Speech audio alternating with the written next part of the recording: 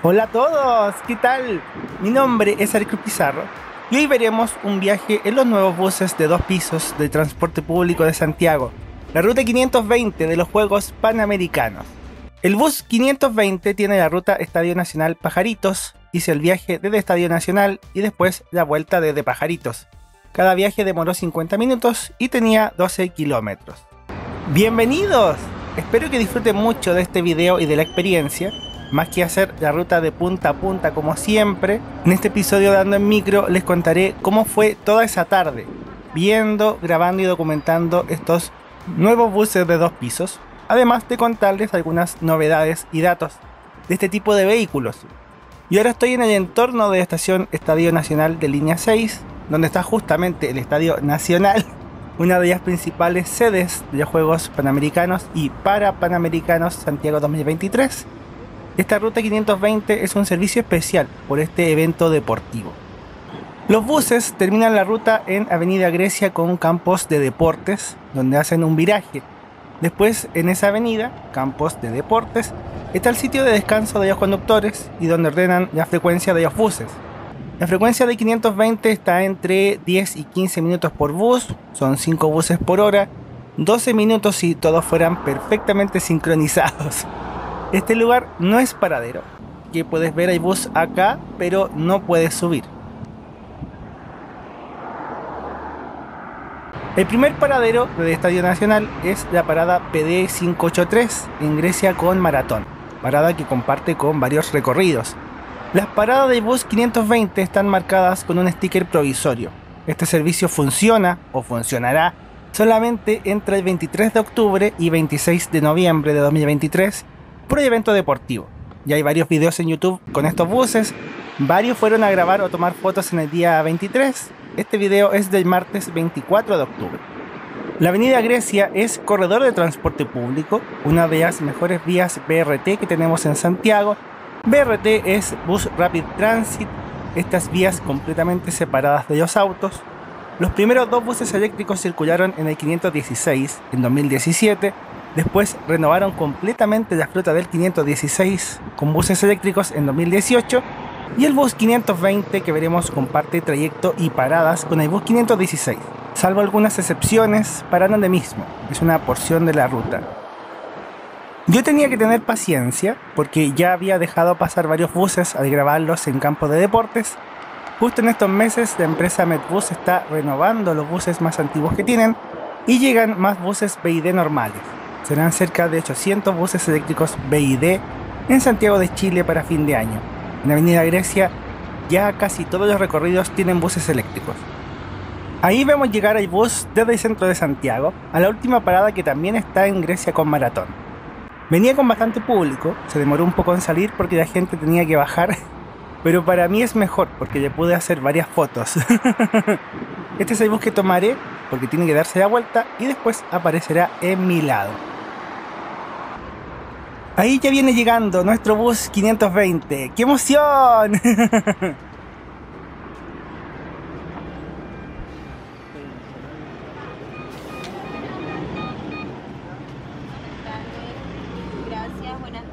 Hola, buenas tardes. Hola, buenas tardes, gracias. Gracias, buenas tardes. Este es el primer piso del bus. Veremos el mapa de asientos en la ficha más adelante. El bus tiene aire acondicionado, todos los asientos son acolchados, con el estándar red del nuevo transporte público de Santiago. La mayoría subió al segundo piso. Tenemos la rampa para silla de ruedas, asientos preferenciales con tapiz rojo. Estamos estrenando un bus nuevo.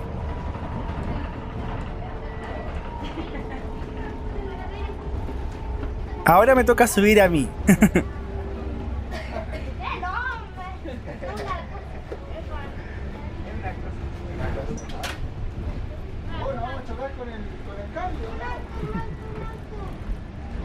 Aquí estoy avanzando hacia atrás. Lo bueno de hacer el viaje desde Estadio Nacional es que viaja menos gente en la primera parada, entonces es más fácil tener el bus vacío y poder mostrar los detalles. Tenemos vista panorámica trasera, vemos justamente la avenida Grecia y las montañas, la Sierra de Ramón o Precordillera, que marca todo el paisaje de Santiago.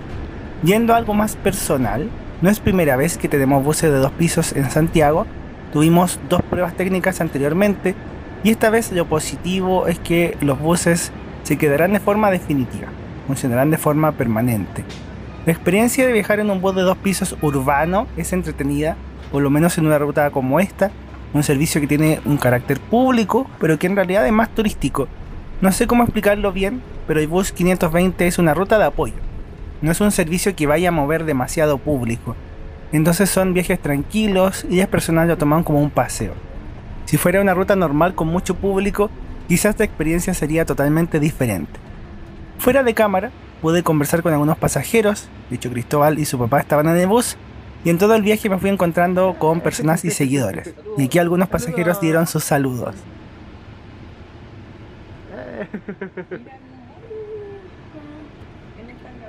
Sí, saludos.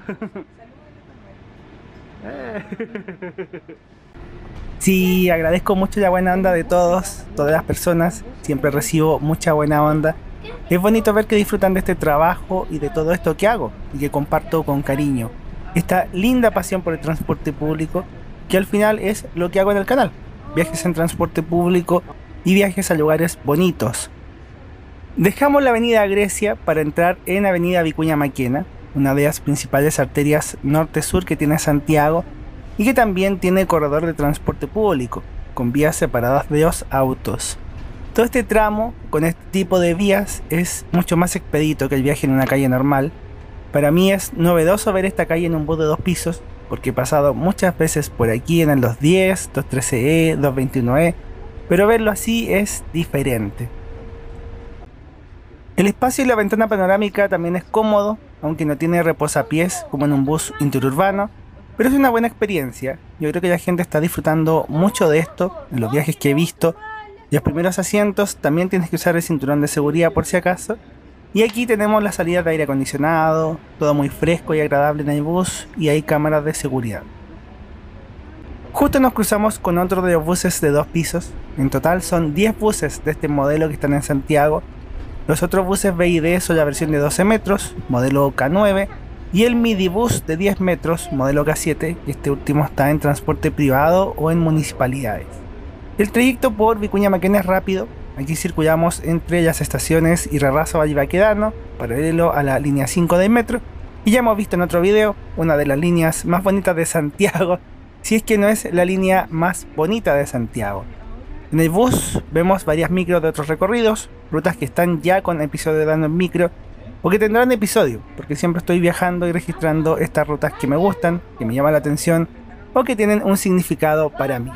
Usualmente el transporte público es visto como un medio, entonces la gente lo usa, pero no siempre lo disfruta, casi siempre lo padece. Es una relación tensa, dura, difícil en casi cualquier ciudad.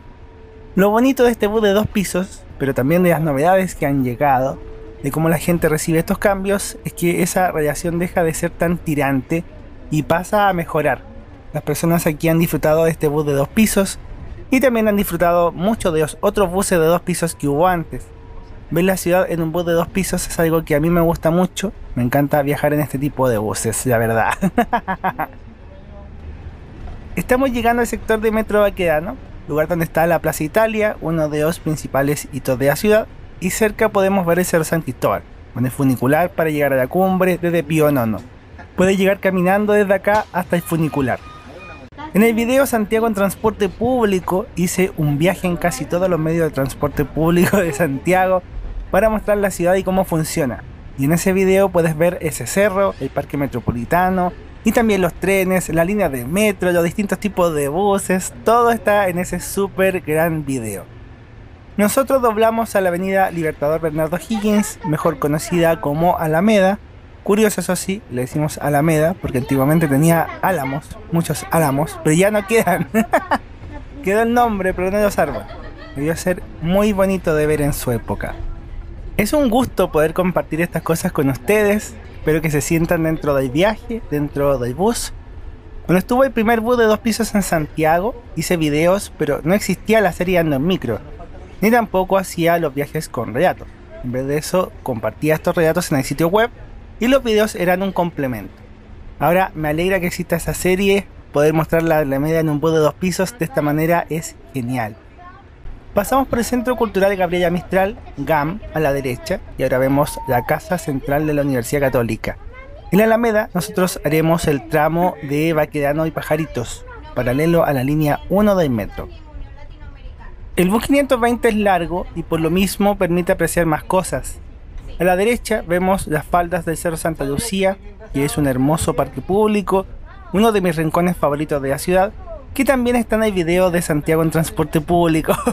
también subí ese cerro en ese día loco donde recorrí toda la ciudad. El legendario video de Ando en todo, en todos los medios de transporte.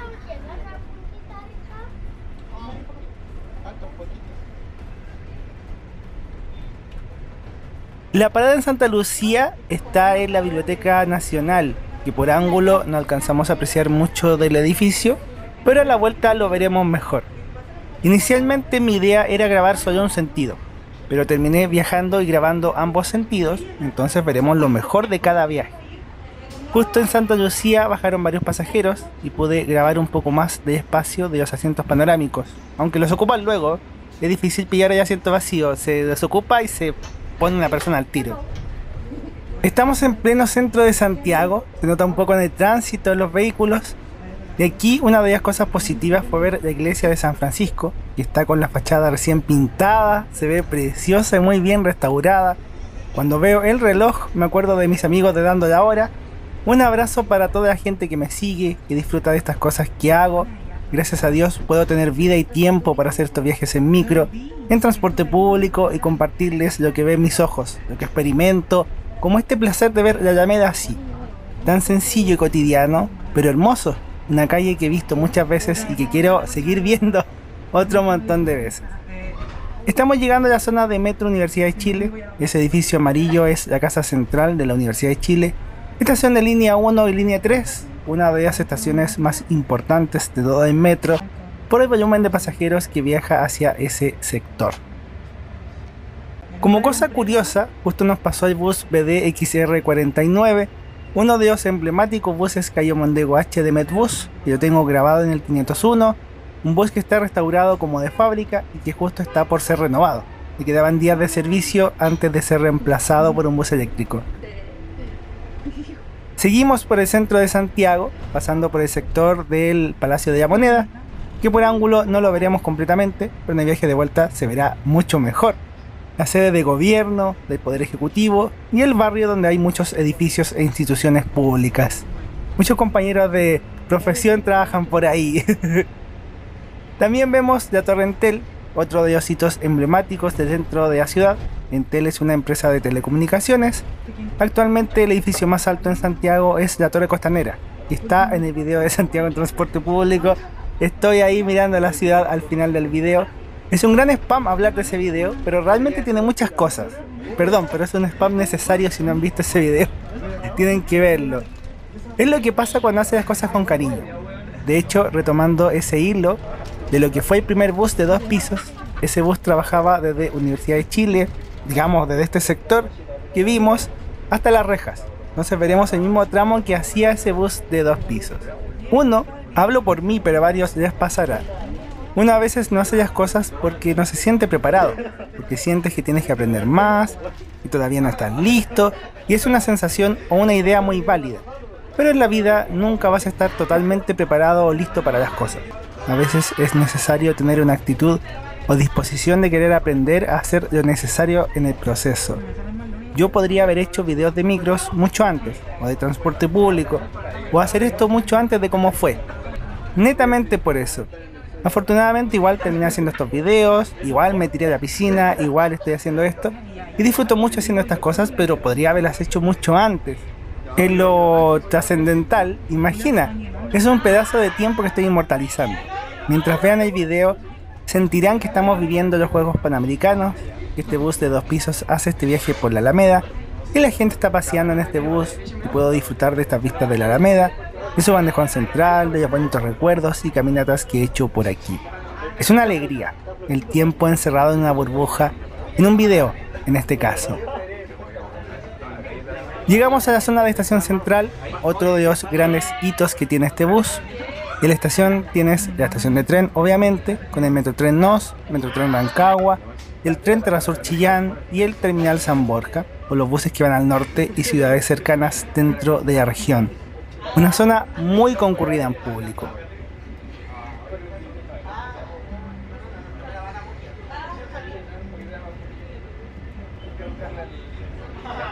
A decir verdad, a mí me gustaría que el bus 520 fuera permanente.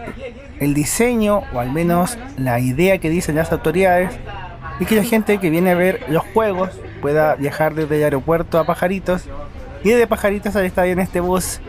Pero en la práctica no sé si eso se cumpla tanto. Pero sí es cierto que es un bus llamativo y que la gente los espera, los busca, algo que también sucedió con los otros buses de dos pisos de prueba. Es un concepto romántico, a la gente le gusta pensar que estamos en Londres, es un comentario recurrente, la prensa lo dice así, aunque Londres no es la única ciudad que usa este tipo de voces. Antes pasamos por la Universidad de Santiago, el terminal Alameda y el terminal Sur, ahora vemos el circo que se pone acá en General Velázquez, estamos llegando al sector de la estación San Alberto Hurtado, antiguamente conocida como Pila del Ganso. Un grandioso nombre. ¿Alguien recuerda esa pileta? Volviendo, si es un bus que podría usarse de forma permanente de 520, yo lo dejaría fijo, lo haría una ruta permanente, sería divertido, la gente lo tomaría como un paseo, como algo para salir de la rutina, y también sirve como ruta de apoyo para todo este tramo. Nosotros por la hora afortunadamente tenemos buena luz y buen tráfico, pero en hora punta tarde el desplazamiento es más lento. Desde el Estadio Nacional a Pajaritos, yo les conté en el mapa que demoré 50 minutos, en hora punta debería ser más. Esto es Avenida Las Rejas, con la estación de metro del mismo nombre, Las Rejas. Y a esto cerca del final de la ruta, el primer bus de dos pisos de prueba terminaba acá en Las Rejas, hacia el tramo Universidad de Chile de Las Rejas. Para el 520 es más largo y mejor. Las Rejas es un punto de conexión importante para la gente del sector poniente. Antes era más importante porque no había metro en Maipú, entonces la gente llegaba en bus hasta acá y tomaba el metro. Ahora está la línea 5, pero hay gente que sigue usando las rejas para hacer esa conexión. Desde las rejas toca el último tramo hasta la estación Pajaritos, que es el punto final de la ruta, o punto de inicio cuando volvamos desde el otro lado. En la vuelta, más que ver todo el trayecto completo de nuevo, veremos algunas cosas pendientes, tanto del interior del bus como del trayecto, cosas que no pudimos ver en este viaje de ida. De hecho, reconozco que mi idea original era grabar solo el viaje desde Pajaritos, porque la luz es mucho mejor a estas horas de la tarde, pero me quedó bonito este viaje y lo quise compartir igual. Mejor veamos cómo fue todo el día nomás, a disfrutar de todo y que sientan que viajan conmigo en esta aventura urbana. Literalmente me están acompañando. Por otro lado, les presento lo que ya muchos conocen, terminal Pajaritos, también llamado Intermodal Pajaritos.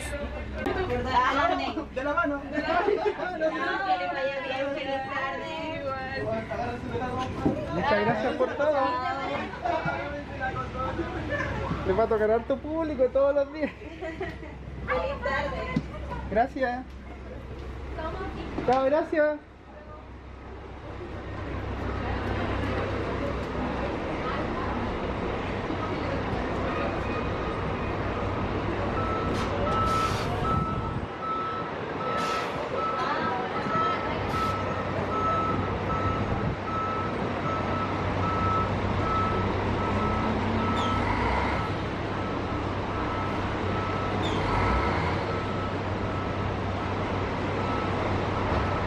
Hola, yo me llamo Elías y es Maximiliano y aquí encontramos a Ariel.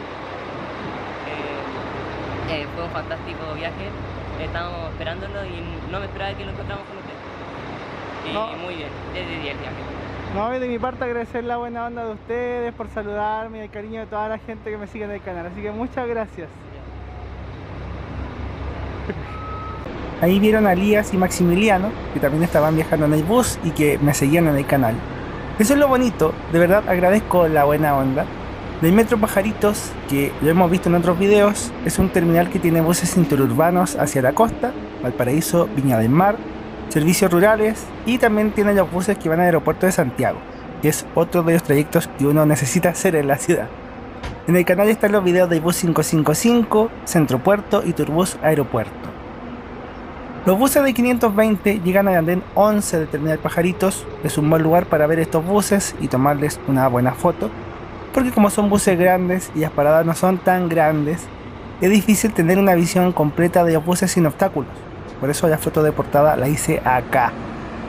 Este es el bus que venía después de nosotros.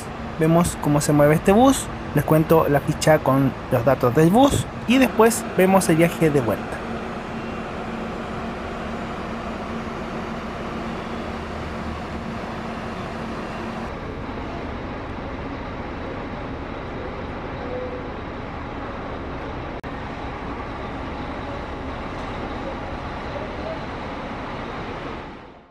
Este bus de dos pisos es una unidad BID B12C01, 100% eléctrico, manufactura china, inscrito en octubre de 2023, con capacidad para 112 pasajeros, con aire acondicionado y puertos USB. Son 69 asientos, 19 abajo y 50 arriba.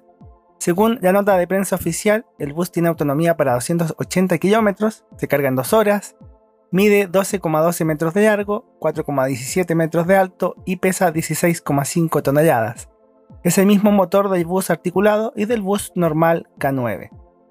De buses de dos pisos, la primera prueba técnica fue el bus Alexander Dennis Enviro 500 de Medbus, que trabajó entre marzo y abril de 2017 de la ruta corta Las Rejas Universidad de Chile, recorrido 424C. Casualmente, si uno mira las fotos, este bus es muy parecido al bus BID de ahora. En Ciudad de México, ellos sí se quedaron con este bus Alexander Dennis. Son 90 buses en la línea 7 del Metrobús. Después, la empresa Buses Bule probó el bus Bus Street Deck en el recorrido I-09, vinculada Metro Unión Latinoamericana, entre marzo y abril de 2019. Ese bus después pasó a Touristic en los servicios de la Municipalidad de la Florida. Y tenemos finalmente estos 10 buses BID B12C01 que hacen el 520 entre octubre y noviembre de 2023 y ya después se supone que estarían en el 555. Hay que ver, en el supermapa, este viaje aparecerá en la sección de Ando en Micro, con el número 520, y también en el I09 y 424C podrán ver los videos de los otros buses de dos pisos. Muchas gracias a Mío Ángel, Ceciño y Mariano por ser miembros del canal, a quienes dan sus super gracias, y las queridas personas que han comprado mis libros. Si te gusta lo que hago, amarás mis libros, como Bendita Elegancia, que es una novela de amor en tiempos de micros amarillas. Pajaritos es estación de línea 1, la primera y más importante línea de metro que tenemos en Santiago, con sus habituales trenes de rodadura neumática, que a mucha gente del extranjero les puede llamar la atención. Justo vemos un hermoso Alstom NS93. Por los Juegos Panamericanos Santiago 2023 hay varias tarjetas VIP con diseños del evento deportivo. Yo me compré una tarjeta, un gasto totalmente innecesario, pero divertido. La mascota se llama Fiu y es un pajarito siete colores. Se llama así, es una ave muy hermosa, también llamada Tachurí en otros países. Voy a usar esta tarjeta en el viaje de ahora. En Metro Pajaritos, para tomar el bus hacia Estadio Nacional, tienes que salir de la estación por el otro lado, por General Oscar Bonilla, y caminas hacia el poniente, hacia la costa. Está la zona de los andenes, donde paran los buses de la costa y del aeropuerto, y más allá, hay que caminar más allá, hay un paradero que en algunos horarios es zona paga, es decir, hay fiscalizadores y pagas antes de entrar al paradero. A esta hora es un paradero normal sin esa fiscalización. La parada PJ 96, con los buses 510, 516, J06, J11, 12 y 17. Y justo vemos uno de los trenes de línea 1, CAF NS 2007. Somos afortunados, estamos viendo todo.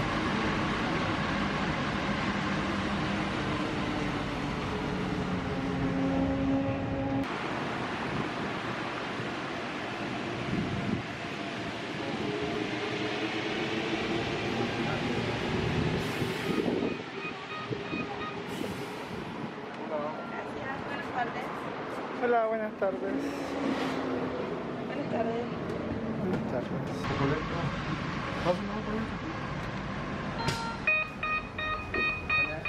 Buenas tardes. Otra vez estoy en el bus de dos pisos BID, en la parte de abajo, que es lo que estamos viendo. Esto no lo mostré antes, hay cargadores USB junto a los timbres de parada, son 30 cargadores. Los asientos acolchados de estos buses son los mismos asientos de los otros buses BID K9, asientos cómodos. Yo creo que la experiencia es buena, en cualquier lugar del bus te sientes cómodo. Aquí pasamos los andenes de llegada del terminal Pajaritos y vemos la estación de metro donde estuvimos antes. El bus, al ser eléctrico, también es un bus que no es ruidoso, pese a que es un vehículo pesado y de gran tonelaje. Tenemos doble eje trasero. De cosas pendientes, como la novedad es la vista panorámica y todo eso, el primer piso queda relegado. Esta es una visión más detallada de la zona de primer piso de este bus BID B2S01 con sus espacios y sus asientos. TBFX60, la patente del bus, año 2023. Recordar que son 10 buses. TBFX57 a TBFX66. Todos esos correlativos. Esto es la segunda puerta del bus que tiene la rampa para silla de ruedas. Es notable, todo el primer piso del bus es accesible con piso bajo. Esta es la zona para silla de ruedas y personas en situación de discapacidad. Todo muy cómodo.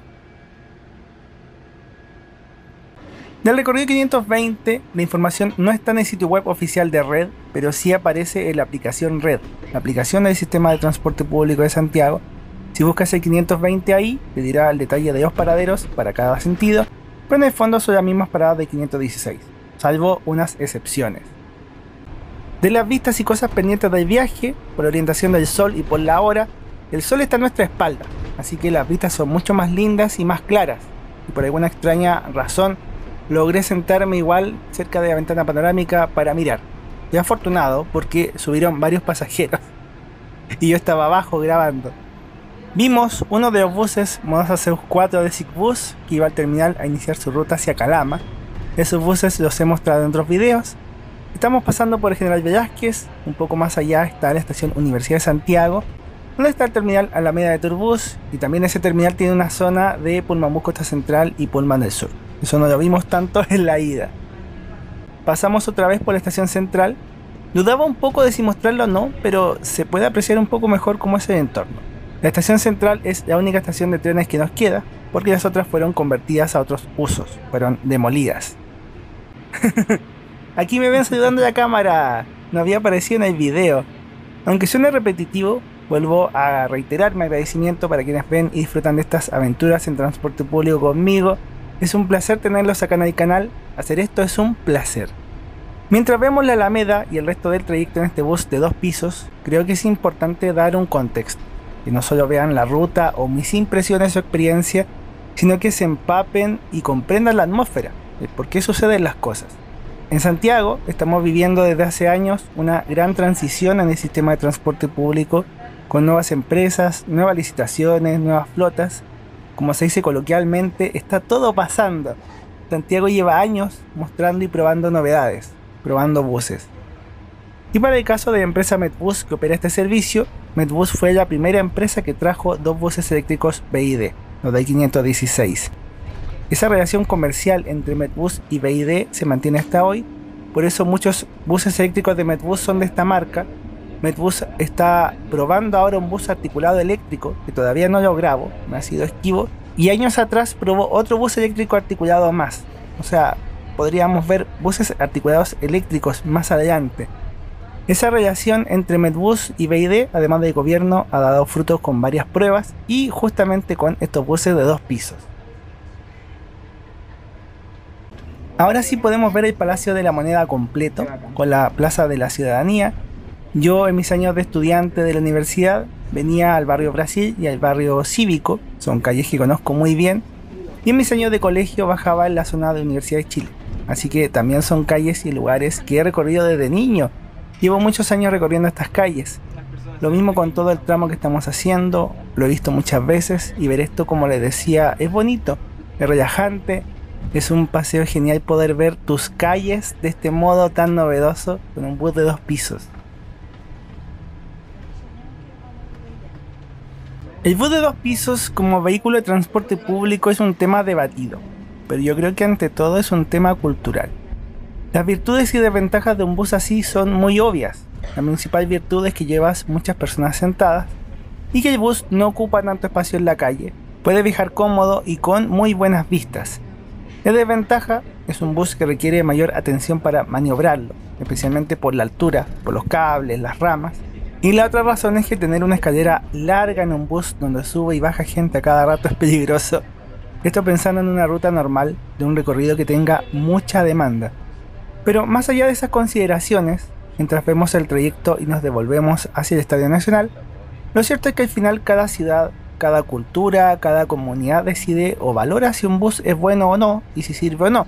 Es una decisión colectiva de valores, más que de cosas técnicas. El bus de dos pisos es usado en Londres, en Singapur, en Hong Kong, en Ciudad de México, en esa línea de Metrobús. Y si funciona en esas ciudades, en realidad podría funcionar en cualquier ciudad, incluyendo Santiago. Es algo que ya se ocupa y funciona. También, como Santiago ahora tiene una flota tan grande de buses eléctricos, son muchos, más de mil buses, pues tener buses de dos pisos eléctricos tampoco parece descabellado. Mi experiencia como pasajero, todas estas pruebas técnicas de estos buses de dos pisos han funcionado bien.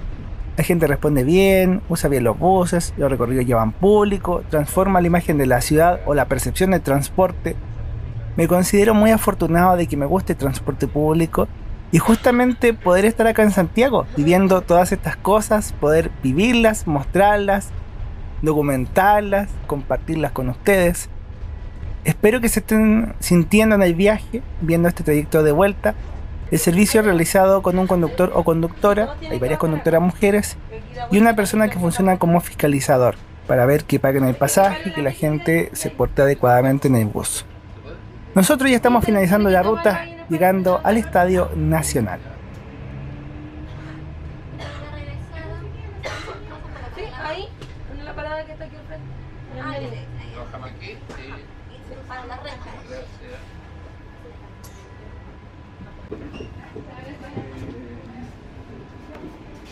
Sí,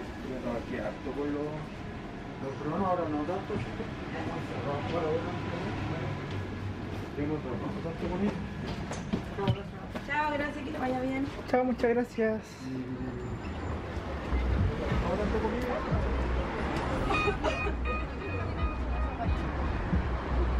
Esto fue mi viaje en estos buses de dos pisos eléctricos BID B12C01, recorrido 520 Alameda Estadio Nacional, el servicio especial de los Juegos Panamericanos Santiago 2023. Estamos de vuelta en el Estadio Nacional en Ñuñoa. De mi parte, ya ya mostré el viaje de ida y de vuelta en este episodio de Dando en Micro. Les muestro un poco de lo que grabé en Estadio Nacional antes de ir a almorzar, porque ya era tarde y tenía hambre, no había comido nada. Muchas gracias por la sintonía, por la buena onda de todos. Espero que hayan disfrutado mucho, que se hayan sentido un pasajero más en estos buses, en toda esta travesía. Que Dios los cuide y os bendiga mucho y ya nos veremos en más videos. ¡Chau!